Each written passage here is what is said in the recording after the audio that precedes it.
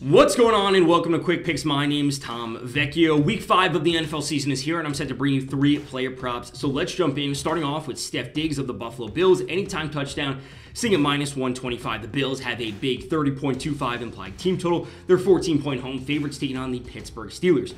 Diggs has been awesome for the Bills this season, coming with a 24.8% market share, 38.6% air yard market share, and a 29.6% red zone market share. None of this should be a surprise. Josh Allen likes to target Diggs early and often, and when they get to the scoring areas on the field, it's often going in Diggs' direction.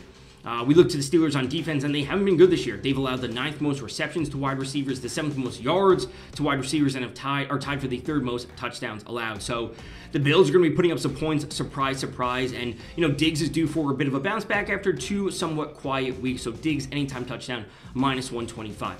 Next up, Amari Cooper over 49 and a half receiving yards. The Browns are two and a half point home underdogs hosting the Los Angeles Chargers, 47 over under.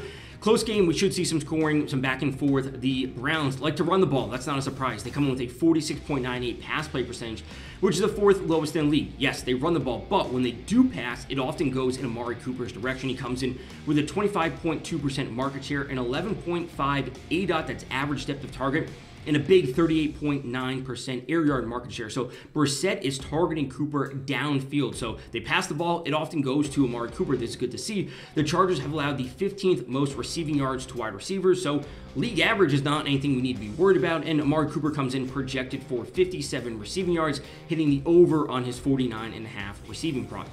Finally, Kirk Cousins over 32 and a half pass attempts. Uh, the Vikings are passing the ball a ton this year. They come with a 64.96 pass play percentage, which is the fifth highest in the league. Their offense has shifted this year.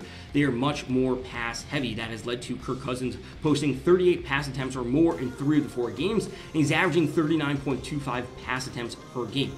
All this is good for Kirk Cousins going up against the Bears. The Vikings are 7.5 point home favorites. All this leads to Cousins being projected for 36 pass attempts, hitting the over on his prop. All right, so that does it for this week. We'll be back next week with three more player props.